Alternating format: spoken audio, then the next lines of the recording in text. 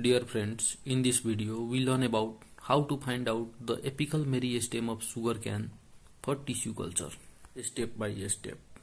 Tissue culture is the simple culture technology in which we produce a large number of plant from the small tissue of a plant.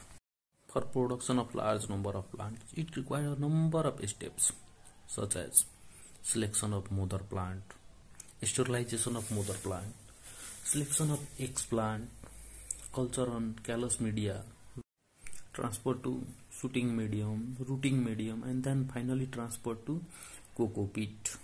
In this video, we learn about how to find out the explant is that apical meristem of the sugar cane. For this, we need the sterile mother plant which we have already done previously, sterile blade, forceps, plate and LF chamber. First we on the UV lamp of the LF chamber for half an hour to sterile the working area of LF. Then we on the fan of the LF chamber and open the door of the LF chamber. As it shows safe to work, then we apply heat to sterilize the surface of the LF chamber to reduce the chance of contamination. Then we take the sterile forceps and blades and again it was sterile by applying heat. Then we take the explant to extract the tissue for culture. In the case of sugar cane, first we remove unwanted portion from both sides of the explant. Then slowly we remove the unwanted leaves of the explant as shown in the video. After this video itself shows everything about it.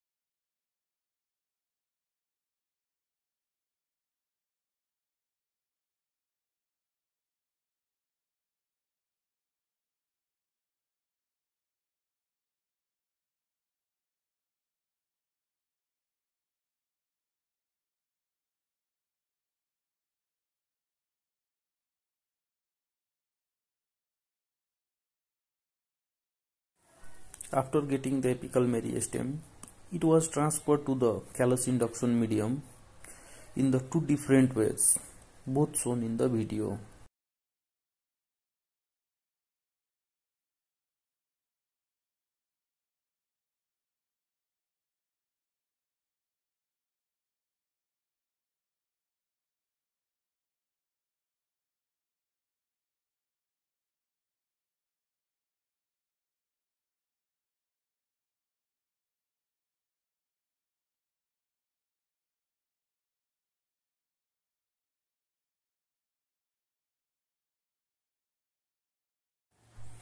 Here we have three types of callus induction medium is that CMI1, callus induction media 1, 2, 3.